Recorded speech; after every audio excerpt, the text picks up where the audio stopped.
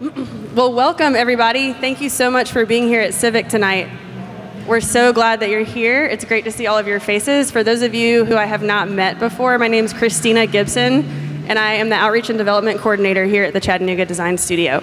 Um, we also have our other team members here, Eric Myers and Lindsay Wilkie, and Beverly Bell is unable to be here tonight, um, but also shout out to Beverly. And I, one of our current um, fellows is also here tonight, Erica Roberts. Where's Erica? There she is. and last CIVIQ speaker. If you didn't, if you didn't catch the last CIVIQ, there's a recording of it on our YouTube channel with Erica. Highly recommend it. It was fantastic. We're the Chattanooga Design Studio, and we are a nonprofit resource here in the community promoting excellence in urban design through education and collaboration and facilitation. Want to give you guys a couple updates about some projects we've got going on right now that we're excited about. Um, the Porch Project, which is a public space pilot project over here at the corner of Georgia Avenue and Market is moving forward um, with the Patten residents. They're really enjoying that space now that they're able to start moving back in after the fire that, was hap that happened this March. Um, but we're going to be moving into data collection about how that space is being used, how that public space is being used to sort of replicate things that are working there in other public spaces around town. So there will be volunteer opportunities coming up soon for um, helping us collect data and observe how that space is being used. So keep an eye out for that. Um, we're also very proud and excited about the developments with the planning processes on the west side. Um, we are currently working with the UTK School of Architecture. Those fourth year students are helping to develop some plans for the James A. Henry building, which is a historic building in the west side that has a lot of potential to be repurposed and revitalized and redesigned reimagined as a community hub for the west side. So stay tuned about that. And um, also, we've got our next CIVIQ coming up. I wanted to give you guys a heads up on November 18th, so save the date. It'll be a Thursday evening, just like this. And the topic will be planning for local food systems. And we're going to be partnering with Crabtree Farms. I know we've got Melissa, I think, is here. And it will be held at Crabtree Farms for a little fall open air soiree with fire pits and whatnot. So bundle up and save the date for November 18th for the next CIVIQ. Um, also, Want to give a big thank you and shout out to our partners and sponsors for making this possible. The Lyndhurst Foundation, thank you so much um, for making it possible for us all to be here to gather for these civic events. Um, thank you to the Trust for Public Land for helping us uh, put this particular program on. So big shout out to the Trust for Public Land.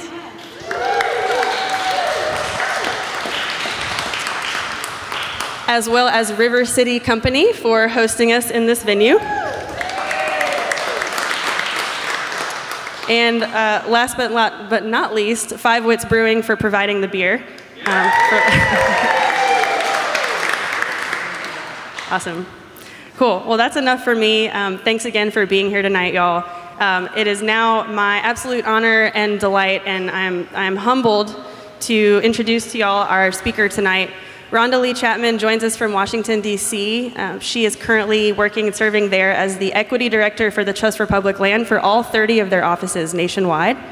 Um, and she is here tonight to share some of her work and some of her story with you, and also to help us spark a community conversation here about some tricky questions about how we start to decolonize our mindsets and our, our programming around how we design public spaces so that they are truly for everyone and accessible to everyone. Um, so without further ado, please help me welcome Ronda Lee Chapman.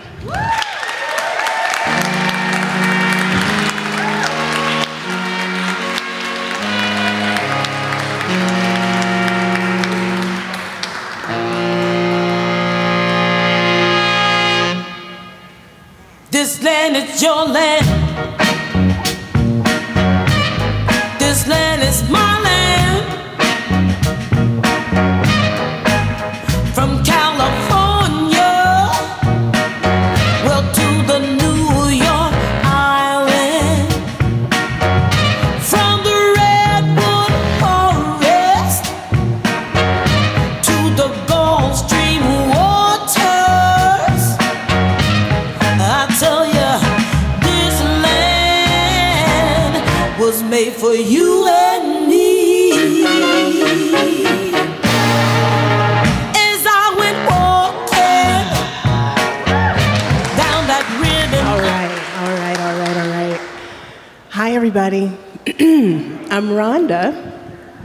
And I'm feeling overwhelmed with emotion right now.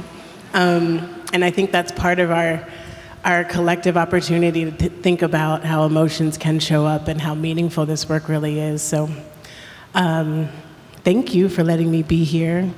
Thanks for inviting me to take up some time. I think I'm going to take up a whole hour of your, of your life. And uh, I think it's uh, truly my sincere hope that everybody here walks away with one thing that you can take home to your family, that you can take to your friends, that you can take to your community, that is a positive thing, something that can be transformational in some way. So, um, before we move on, I want to take the time to acknowledge the land that we're occupying. Um, it's the place that we're calling Tennessee. And I think it's fair to say that none of us really asked for permission to occupy this space. None of us asked for permission. I know I certainly didn't ask for permission to even be here. Um, I never met with any of the local tribe members. I don't know who knows I'm here.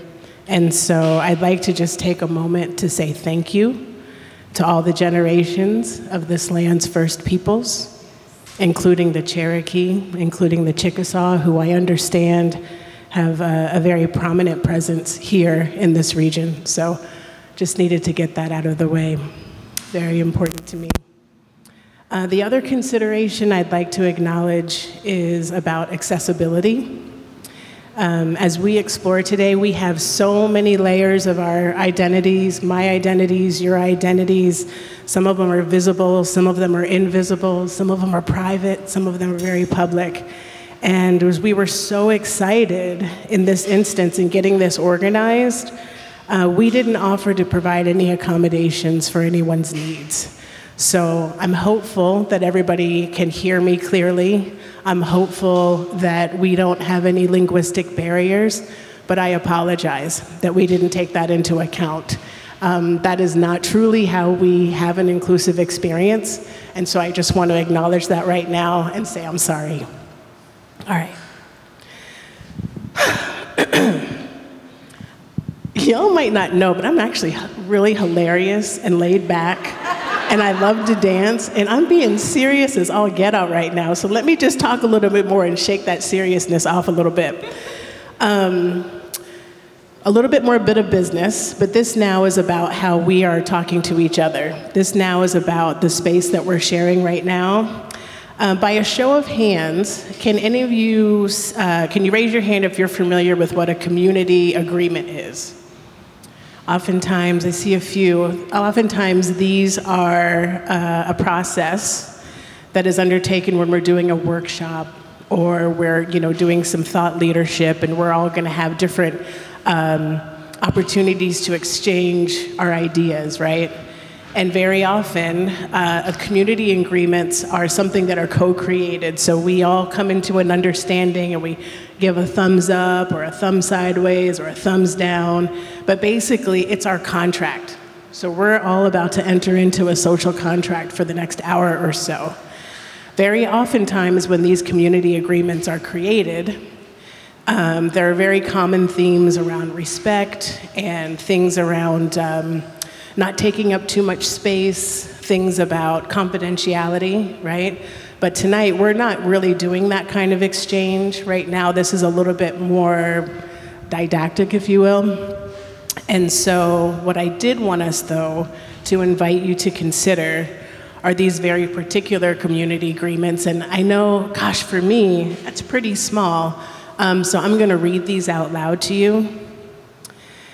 And these are also really important because in a little bit we're going to have two other guests come up and talk, and, and we want to make sure that we honor this whole experience. And so, one of them that we're all going to agree to, that I implore of you, is to listen to understand.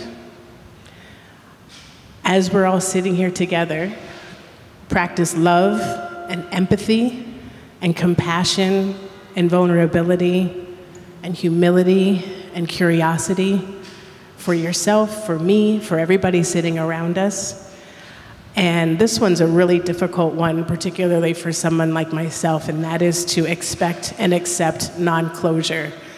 We're not going to walk out of this room with all the answers to all of the problems, particularly around our colonized mindsets and the way we go about moving through our cities and towns. So just sit with that and just realize that we're not coming to any conclusions today, but we will have an understanding. I can promise you that. I Also, want to invite you all to take responsibility for your own learning and to recognize the burden that people with marginalized identities endure.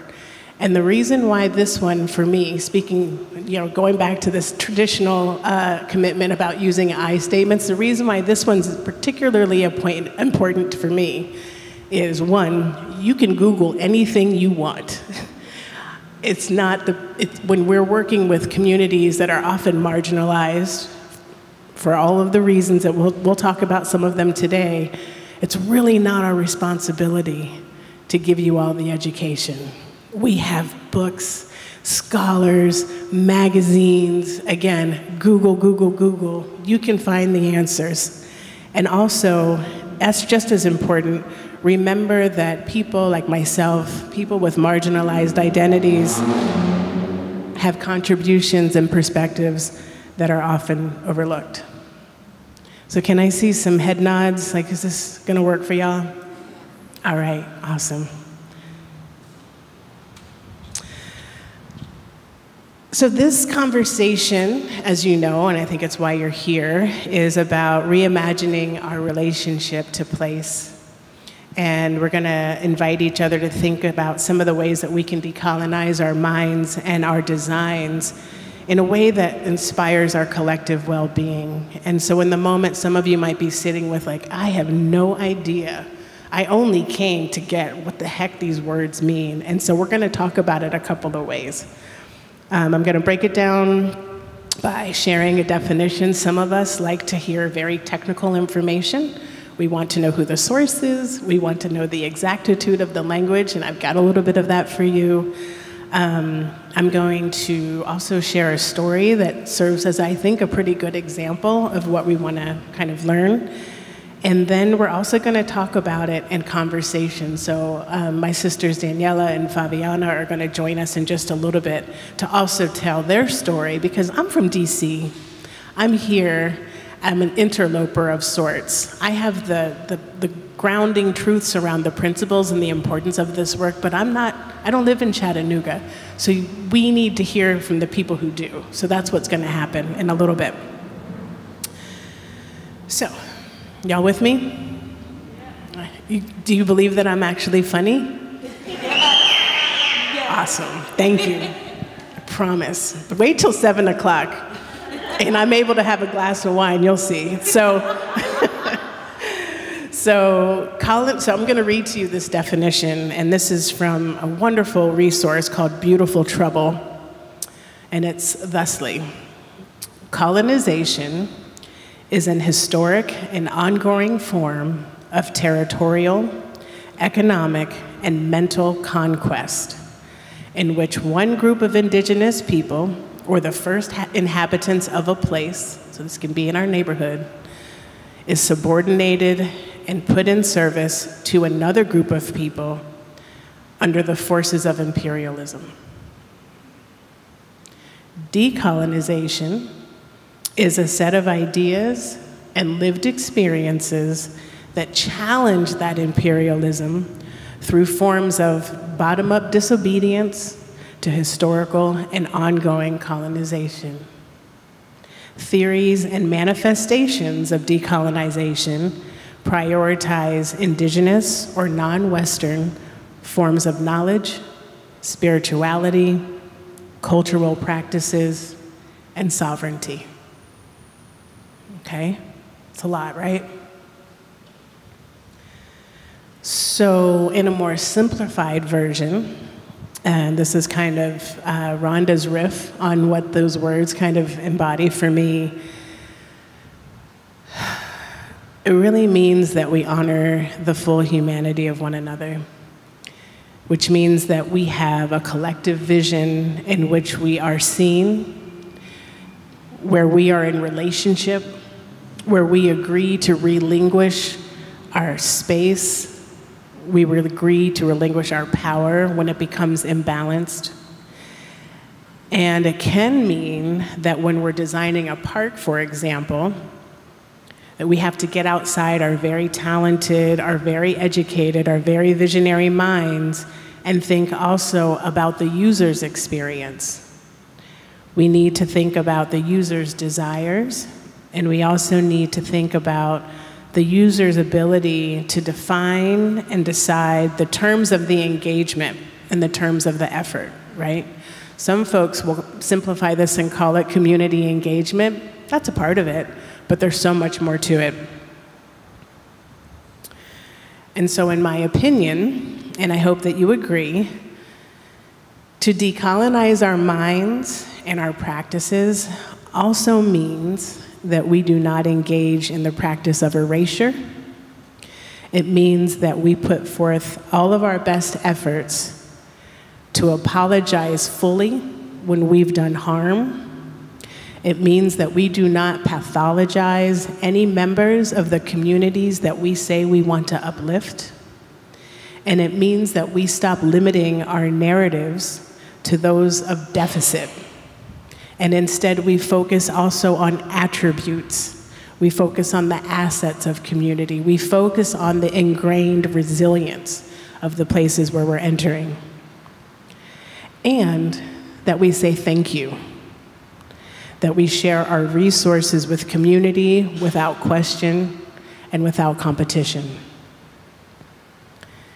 It means that when we put our heads to rest at the end of the day, I'm watching some faces, a lot, um, that we have peace in our hearts because we did not impose our will on anyone. We did not demand perfectionism for things that we do not understand or recognize. We did not force a sense of urgency because we're so entrenched in this grind culture. You gotta work until your knuckles are bleeding, right? It's not healthy. And it means that we're not defensive. Hear me out. It means that we're not defensive when someone calls us out on the harm that the structures of supremacy upholds. It means that we do not hoard our power, but we share it instead. Yeah? Okay. And the other thing that is also, I think, pretty true is that bigger isn't always better and quantity does not supersede quality, and feelings and emotions are just as important as logic. We're talking about a lived experience, right? We're talking about what people have come to realize, and including, and we'll get to this, the information that's passed down to us genetically. I am carrying stories of ancestors that I've never met. I'm coded. I am coded with their stories and I always reach out to them and ask for the good stories. I don't want to carry the trauma. I want to carry the leadership, the innovation, the love, the joy. Those are the only pieces that I want, but I can't pick and choose all the time, right? So, now you guys want a practical example, I imagine. Because this sounds kind of smushy, gushy, wushy, right? This is this is like something I should be talking about in one of my little like yoga circles or something like that. But it is true. It just makes you a little uncomfortable sometimes. So to get us started, I want to give you a, a practical example. This is a real life story um, about the ways we can de decolonize our minds and some of our placemaking designs. And this took place in my hometown of DC just a few years ago. And it's an example of where intent and impact are very misaligned, and that happens. It happens all the time. We have so many good ideas. We're just doing the right thing, right? Sometimes we don't think it all the way through. So we come in, we've got an agenda, and we've got this vision, right? So in DC, like in many urban uh, areas here in the United States, um, we've got poverty, right? We've got a particular community, we call it east of the river in Washington, D.C. How many folks have been to D.C.? How many folks know where the Anacostia River is? Awesome. Are y'all planners? No? Okay. So uh, in DC, we have two major rivers. We've got the Potomac River and the Anacostia River, for those of you who don't know. And the Anacostia River tends to be the great divide. And I, I call it it's the divider between black DC and white DC, period. It's very rare that people who are coming in to visit for all of the cultural experiences make it to that side of the community. And so some folks, um, and, and, that's where we have all the disparatives, that's where all the deficit stories are based out of, and that's where we've got like the highest concentrations of poverty. And some, some folks in the city planning office noticed that there wasn't a lot of public art. And they thought, I know, let's install some public art. And they decided that um, they wanted They wanted to do an art project at one of the busiest bus stops in DC, in this particular neighborhood. It is a very, very heavily utilized space. And so what they decided to do was put out a call for proposals, right? Did the good old RFP, if you will. And it was for um, uh, some sort of public art installation to be located there, right? And what I want to share with you is a couple of the red flags about this effort. The first flag was that the well intended city staff had determined and prioritized a need on behalf of the community rather than basing it on something the community asked for. You nod your head. How common is that? 100%. Happens all the time, right? I've been a part of it, trust me. I'm not totally innocent either. So that's the first red flag. And I'm, I'm willing to guess that the community probably would have articu articulated a different set of needs. Probably don't really need an art installation at this bus stop. The second flag, and this is all my opinion, okay, so, you know, don't be calling Mayor Bowser and, and chewing her out, right? This is my opinion, but this is very much a true story. So the second flag was that after putting out the RFP, after putting out the request for proposals, the city awarded the project to a firm. Guess where they were located? Seattle, Washington, the other Washington, 3,000 miles away. 3,000 miles away. And this is for a very localized artistic effort that needed to re represent and reflect the people who live and utilize this space, right? So now, not only are these individuals, this firm, all good people, this isn't, this isn't a shame game, right? This is no, not just casting dispersions on these individuals, but now we have local dollars going out the door. It's leaving the community. And I don't know if y'all know this about DC, we have some of the most amazing artists of every type that you can ask for, any media, we've got it in DC.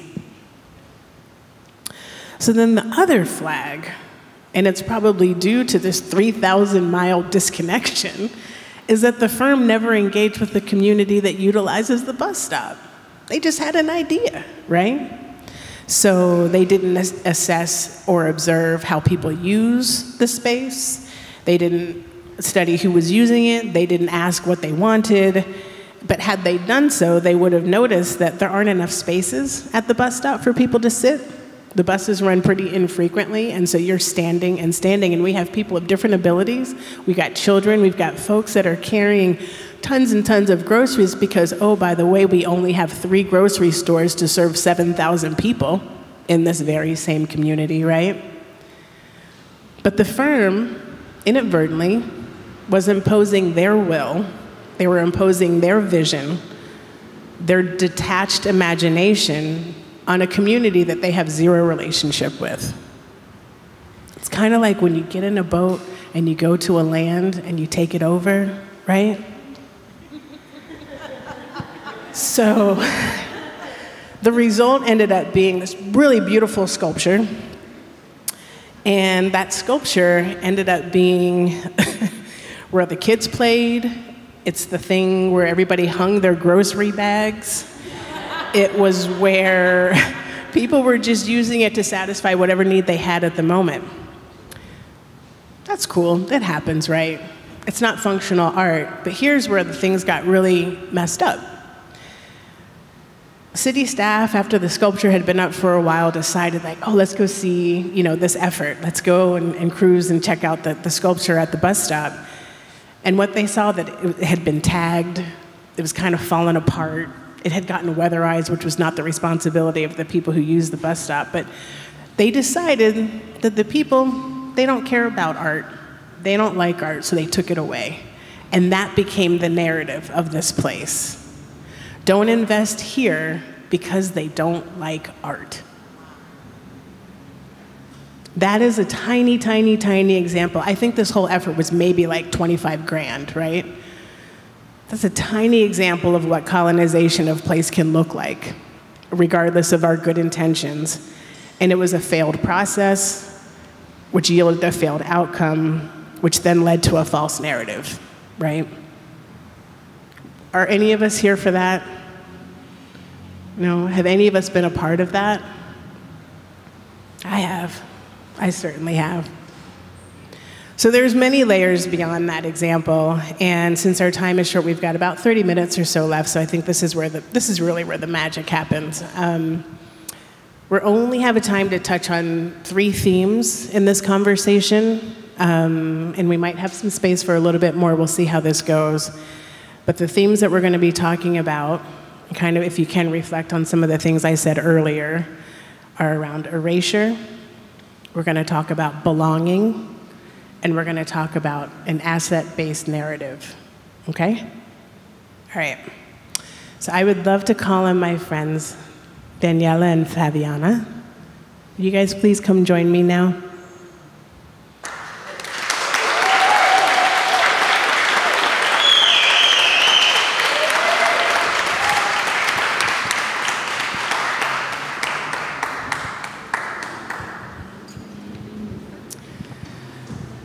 Think these two are really the reason why you came. I don't blame you. Um, are you comfy? Yeah, do whatever you need. Awesome. Yeah, okay, cool. I want to take a moment and also invite you all to observe uh, something that I think, or we think maybe, I shouldn't speak for you all, that's very important, and that is that we've got three women who are representing three Americas sitting here right now together to talk to you about how we interpret, how we live, how we experience colonized spaces and colonized mindsets. And we're really, really prayerful that y'all walk away with a much, much clearer understanding of what it is that we're doing here. Yeah? You agree? Cool. So, Daniela Paz Peterson, there are so many of you who already know her. Um, she's a community strategist with the Trust for Public Land. She's a senior advisor here in our Chattanooga office. She's more than just that. These are just titles that we assign people. It just happens to be one of the things that are attached to her name and her, her whole amazing, beautiful self. Um, you've been collaborating here in the community for the last couple of years, yeah? And you are actually the mastermind behind these family photos. So I think I've been, I've been watching people smile and giggle as we have this roll of beautiful pictures. Um, and, and Daniela is really the mastermind behind that. We're going to get into that in just a moment. And Fabiana Miguel Gaspar. Um, I don't know how many of you haven't had an opportunity to meet and talk with Fabiana. Fabiana is a third culture child, and she's also a Chattanoogan res- uh, resident. She's been here for about 23 years. She has the honor, and they have the honor, to work with her with uninsured patients um, through the um, uh, LifeSpring Health Service. She's a, a public health community health worker. I'm getting all tripped up on all the words. Amen. essential service all day. And a lot of what Fabiana does is around bridging the gaps in individuals' needs that are often overlooked in these, these oppressive systems that we all exist within. So we're going to hear more. I'm going to talk less. And uh, I want to turn to you, Fabiana. And I first want to thank you for sharing your, um, a piece of yourself with us. I want to thank you for your time. I want to thank you for your energy, your love, and your care. And um, I want to ask you if you can please share the story of your name. We're talking about erasure here, and I would love for you all to share with these folks the story of your name. Do you mind? Yes. Um, so I'm going to give a little bit education of what is um, why my name is important, um, especially in the Hispanic community or Latino or Indigenous. Um, more, more mainly focused on our Indigenous heritage. Um, so I am named after my grandmother. As a firstborn daughter of my two parents, um, it's traditional to name the firstborn gender wise. If it's a son or a daughter, it's always named after um, the grandparents of the dad's side. Then there goes the second child, is named after the grandparents uh, of the mom's side, whether a boy or girl. So if it was a girl, it would be named after the grandmother. If it was a boy, it would be named after the grandfather. Or more typically, is more named after the father, if it was a boy. And with that in mind, I take the honor to represent my grandma. Um, it's a heavy weight at the same time. Uh, when we get gatherings um, with my family, um, I'm mostly be like the honor one that comes in in the room. Oh, here comes our mother. So my uncles and, and aunts come as a, here comes our mother. I was like, I'm just your niece. But, but that's an honor to bring that in into the room um, just because our, my grandmother is not with us. But it's just an honor for her and just the resilience that she has gone through um, to raise um, her children and be there for her children. And so, with the last names, we carry both of our um, both family tree um, from our my parents. So um, originally, we are supposed to take the first last name. We have two last names, so we take the first last name of my dad, and then after the first last name of my mom. So, 1988, I was born, and I, in, in Colorado. So, anyone who is from Colorado, give me a hoo hoo. Uh, but um, I love the Rocky Mountains. Um, then I, um, I was born. My dad, um, obviously, such an advocate, but uh, at the same time, trying to explain to nurses how our last name function. And it was, it was it's frustrating. Um, unfortunately, my registered name in my documents here in the States, I don't carry the last names of my grandfathers. I take the last names of my grandmothers um, because the nurses back in the 80s were not educated or they were ignorant of just respecting the ownership of this heritage or culture or individual. And so um, that's why my name is Miguel Gaspar. So Miguel is my mom's second last name and my dad's last second last name. Um, so my original name should be Fabiana Tomas Tomas. Um, so with that in mind, the, the nurses were trying to tell my dad, here in the States, we don't do that. We only take the last names. And so, obviously, because in the indigenous, we already have that mindset of complacency.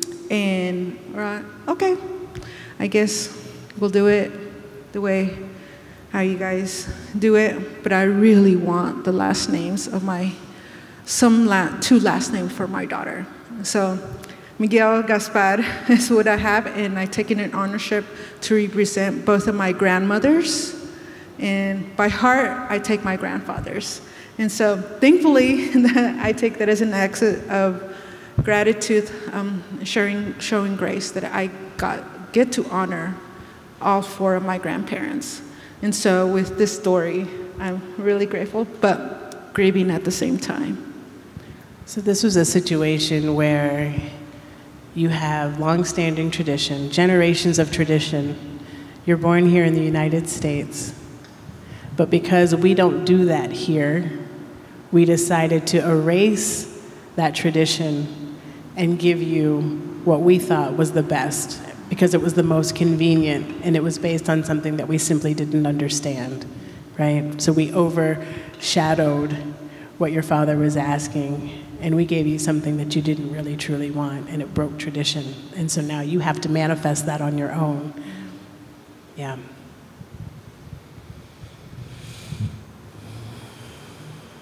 Daniela.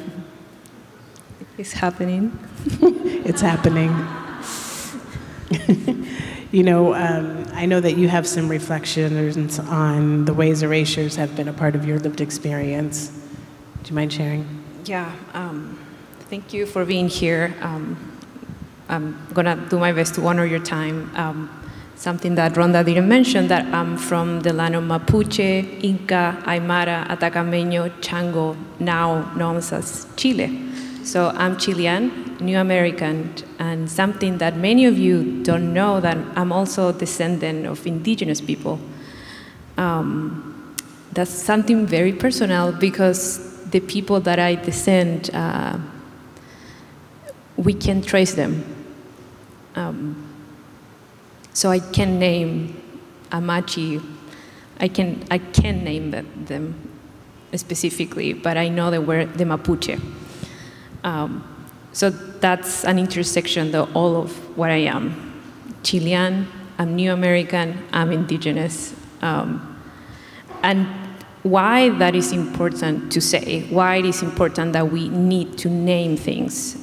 Because for a long time, for most part of my life, I thought colonization was something that happened so, so long ago.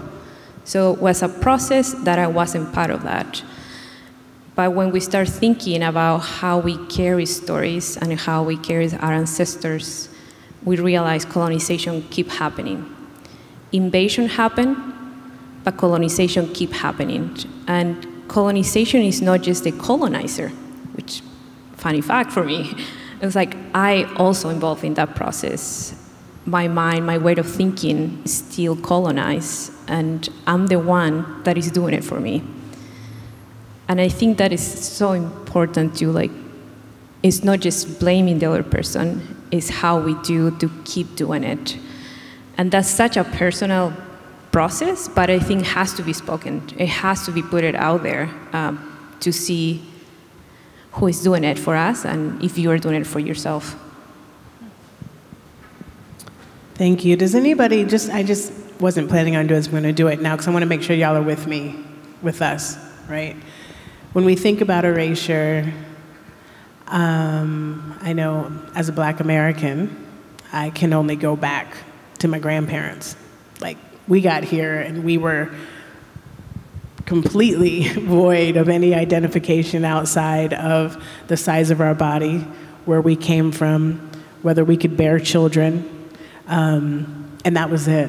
We were numbers we were given names that were not our own. So it's really, really hard to trace the roots for many of us black Americans. And so there's erasure upon erasure upon erasure happening there too. And there's a lot of envy that happens occasionally when I'm talking to my white friends and colleagues about their family stories and how far back everybody can go in these amazing stories about the name changes. And we came to the United States, and my grandfather didn't want to have a Jewish name, so he changed it to Johnson so that he could be safe, et cetera, et cetera. Stories of triumph and resilience and overcome, right? Those are beautiful, important stories, and I'm also jealous sometimes. So I wonder if any of you, just by a show of hands, has any relationship with any element of erasure in your family story. Just a couple of you. I think it hurts, personally. And again, as Daniela was just saying, it's also a mindset. It's also a mindset, and we'll get to that in just a little bit. So, on the fun side, right, let's lighten up a little bit, lighten up, Ronda. Um, I'm really interested in you all sharing the story about the two of you meeting, and we're gonna we're bringing it back to the family photos, and um, it would be helpful if you like shared some context around that and then told the story. Yeah. Cool. Um, so how we met, I didn't know Fabiana, and we were doing this project in the East Lake Park, um, and that project it's one of my favorites. Um, it's something, nothing new. We didn't reinvent the wheel. Uh, it's something, if you have it in South America Central America, we actually take pictures in parks. And normally we have a llama or a donkey. Hopefully someday here we're gonna have that, but so far, and right now we just take pictures with Brooke Bragger, the photographer, and we go around parks taking pictures of people. Um, and in that very first uh, event in East Lake Park, on a Sunday morning, this badass Latina woman show up in a skateboard right there. And I was like, I need to know her. And who is this? Uh, so I just introduced myself. We started talking. We took her picture, um, and then we kept connected.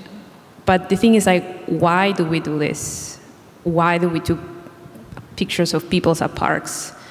And one, we want to make smile people. Like it is a sweet. They are like amazing pictures and they are memories. Uh, but the thing behind, to be honest, you back in the time when I asked myself, imagine a family in a park.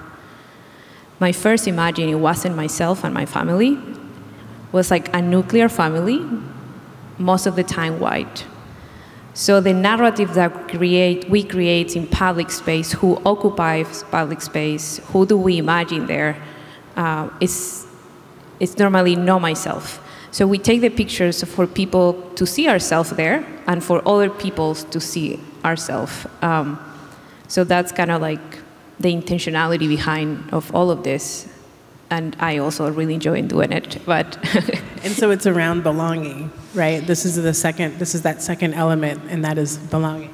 Yeah, that belonging in a personal perspective, I think belonging when you don't have to explain yourself, when you can just be. Uh, and in order for to do that, I think is it's necessary that we can see ourselves there, so I can feel that I'm part of that, and I can be myself completely. Yeah, I appreciate that. Fabiana, when you think about belonging, and in the terms of either the work that you're doing as a, a leader in community health, or if you're thinking about it in your more social context, what, is, what does belonging look like for you in these spaces? Um, for me, belonging means um, honoring dignity of a human being. Um, and how I play that in role of my work is giving the dignity or honoring the dignity of an individual as I go to their homes, as I go and hang out in a park with the family members that I interact with. Um, for me, uh, as I go into these homes, I come with humility mm-hmm. and just interact with them as meet them as where they at. Can you can you do us a favor and tell us the story that your your grandfather told you about eating? Uh, so my dad actually. Your dad. Okay. My dad. Um, so obviously in a very Mayan culture, um, obviously because we are very indigenous and we have trauma from the colonization from the Spaniards. And so, um, as my parents were raising me here in the States, um, it was a little bit difficult to be um, part of America because I go to these schools, right? And so I eat their food. I learn, especially when I moved here in the South, was really interesting. Um, and and my dad like um, was very an advocate of being friends with other people, and what he said, we only trust those who eat like us, and. And so for me, as a child of his, I adapted that quote. And so when I interact with white Americans, which was a really interesting um, um, culture shock for me, but it was really nice for me to get to know the white community and got to learn how to eat casseroles, how to make sweet, sweet tea, uh, sandwiches as they eat, and, and also as here in the Chattanooga culture, we are so well known to wear the chacos in these KAVU bags, you know. and so I got to immerse myself and made some awesome friends in the white community. And as in the black community, I did that as well. I adapted in that culture. I ate with them. I got to learn to my black fellow uh, African American friends. They love their barbecues. and their fried chicken and their corn cobs and their greens. and they know how to party as well. And, and then I started getting to know more um, cultures, not just my Guatemalan culture. I also got to learn my Mayan culture as well when I moved here in Chattanooga. It was interesting fact uh, because I got to learn how to eat like a Mexican, not a, as a Guatemalan. was a really interesting factor there as well. But I had the opportunity to get to adapt in these different cultures and get to know a lot of people in different cultures and able to hear their stories. But they trusted me because I was, I ate like them. You had a you had an experience of belonging. You were able to come in and connect, and you didn't come in and tell them that what they were eating wasn't. You didn't judge it. Mm-mm. No. You didn't walk in with your own plate of something that you prefer, just in case there's potato salad with raisins in it. you didn't do any of that. Yep. um, so, again, we're talking about erasure and how we can plan and design to make sure that we're not um, doing that. We have so much presence, there's so much place, and we want to make sure that the work that we're doing is purposeful and that it's reflective. And we also need to know that we're creating a sense of belonging. We've got time check right now. Um, so there's a couple of things that maybe you all can stay five minutes over because we started five minutes late, and I'm going to pull a Maxine Waters and reclaim my time. uh, yeah. I know we have 10, but I'm asking for 15. Yeah. Reclaiming my time. So, um, one of the things we're going to talk about to kind of close out with these themes is around the asset narrative. So, again, I understand what it means to want to do good in community. I understand what it means when we go into a place and we measure it against our own personal lived standards and the privileges that I'll say I, the privileges that I carry, right?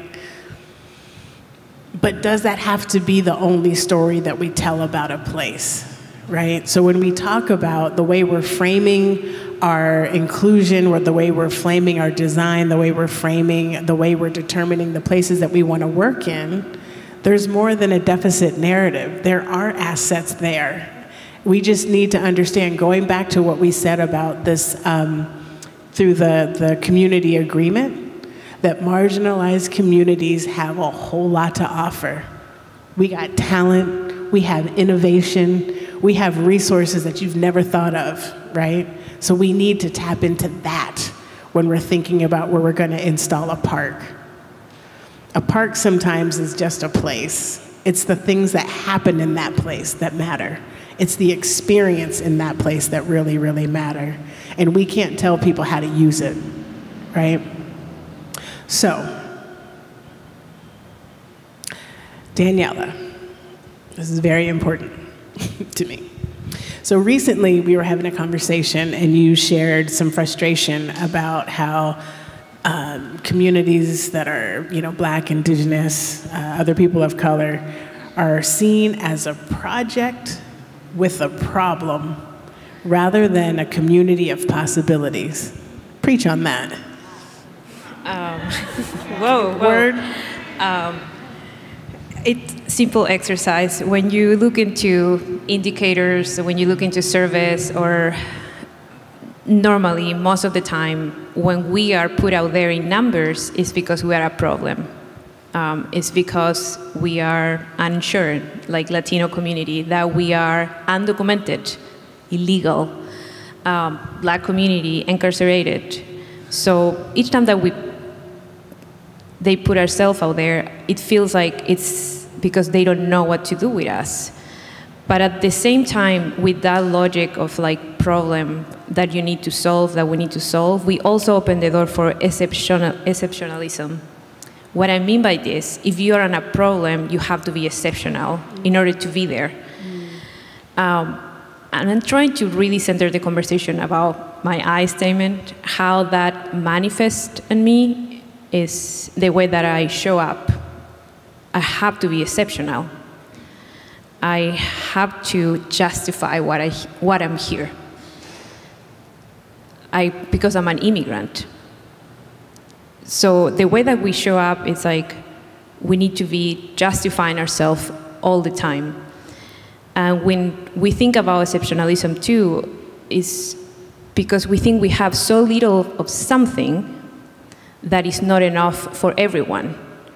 So because we don't have enough for everyone, you have to be very special to get it.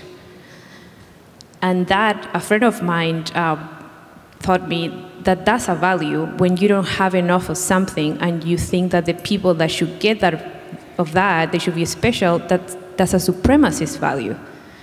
So that was my friend Sarah that she's not here. So again, when we talk about colonization, when we talk about supremacist thinking, um, it's really easy to point fingers, but it's harder to think that you are doing it to yourself. Um, so, yeah, that's kind of what I've been wrestling lately. Your own internalized depression. Woo. Um, it's for another conversation. Fabiana, um, I'm trying to wrap this up, I know. Um, one of the things I'd love for you to share with us are what people can sometimes overlook or mischaracterize about some of the communities that you're working with, right? You already just shared with us, like you go into the communities and you commune around food, the common food, and you share. But there are other parts of the, um, the people in the communities that you're working with that are assets but they get overlooked. Can you talk to us about what some of those might be? Yes, um, which both of you guys touched um, the most important topics that I, I, was sharing. A lot of people, I do it as well. We overlook of that an individual has always brings something into the table. We overlook that.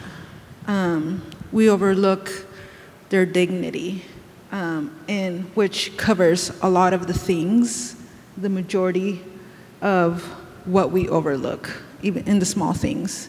And when we do that, um, when we overlook, it, it's just, it builds up walls a lot. And so that's what I've noticed um, whenever um, I don't overlook that, and I see that person's um, that they bring something to the table. It's like it, I get astonished what they bring in the table, and their dignity, how um, their worth is, and how important it is to empower their worth and their dignity. Yeah. We overlook things like the innovation and resilience that communities have. I'll tell you, I, st- I started cutting my teeth working in local government when I lived in Portland, Oregon, and I was a sustainability generalist, right? And this was back in the early 2000s, and sustainability was becoming the thing, right?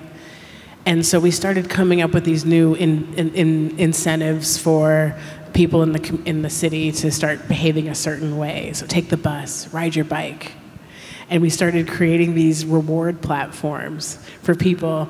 And like one of the jobs that I had working for a local government, we would get um, a certificate to REI if we made a commitment to, to use mass transit or walk to get to work, right?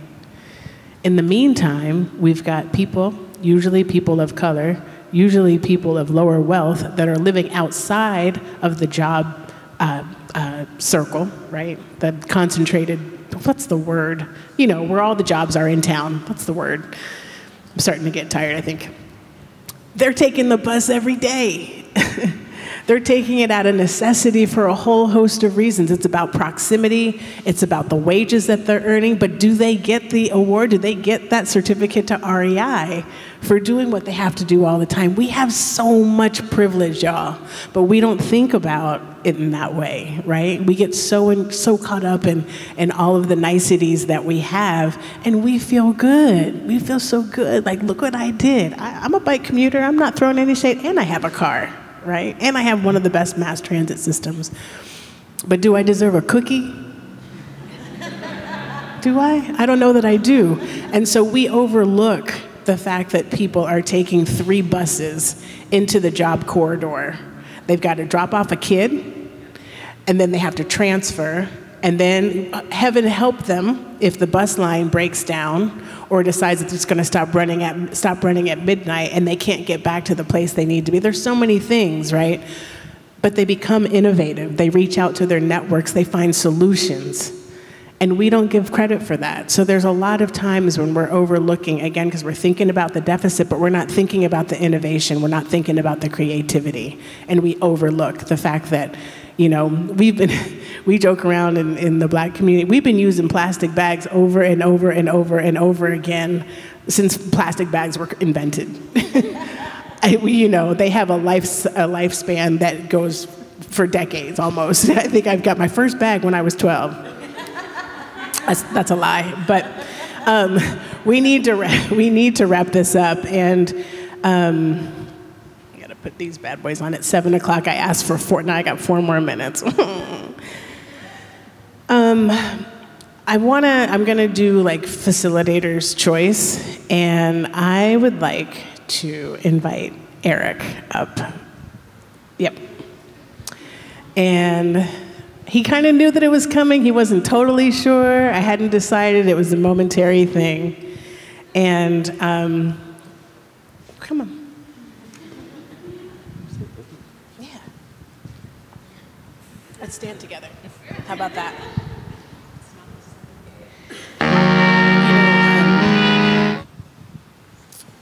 You helped create this process, right? This civic dialogue, the civic engagement.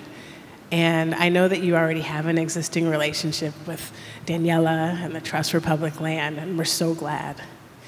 And I think sometimes when we think about what it means to be accountable, to some of the things that we've talked about today, that also means that we have to have courage. And I think accountability does take courage, but again, it's not, you don't necessarily get a cookie for doing what's right. Um, but it does take a lot of bravery. And so I'm curious, I'm going to put you on the spot.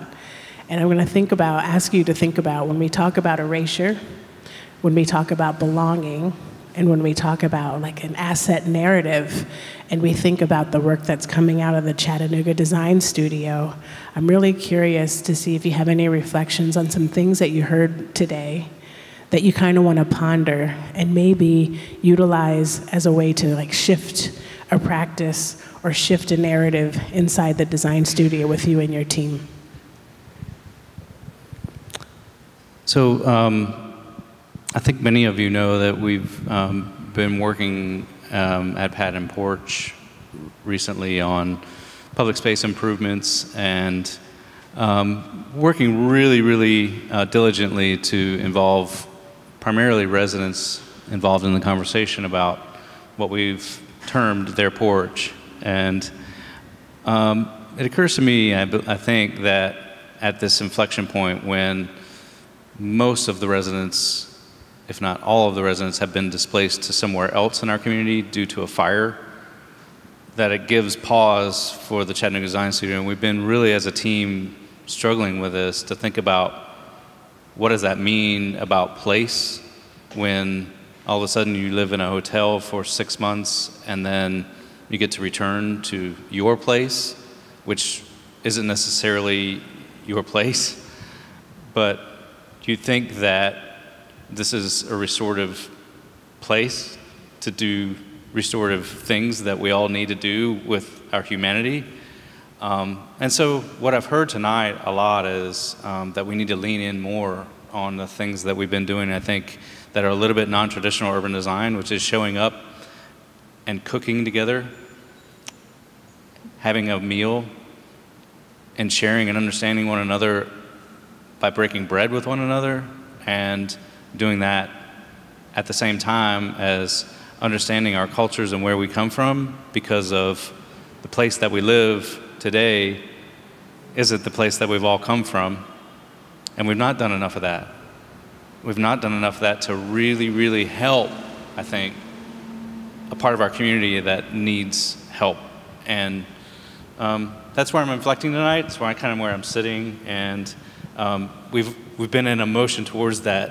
And I really, really appreciate this conversation tonight. Fabiana, what you said was fantastic.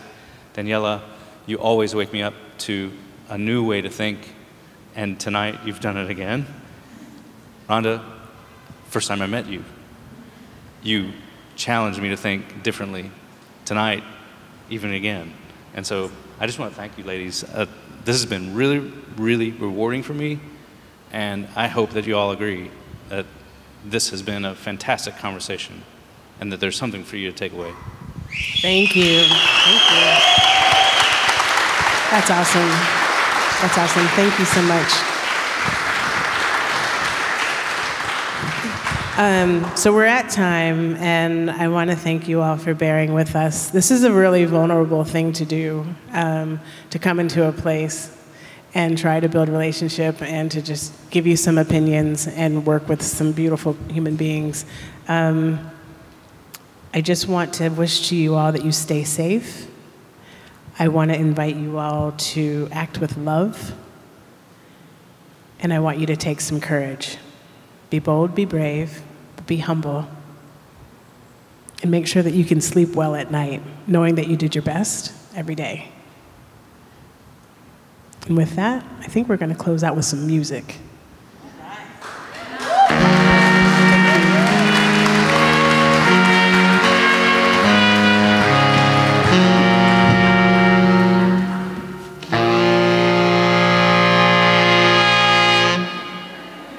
This land is your land.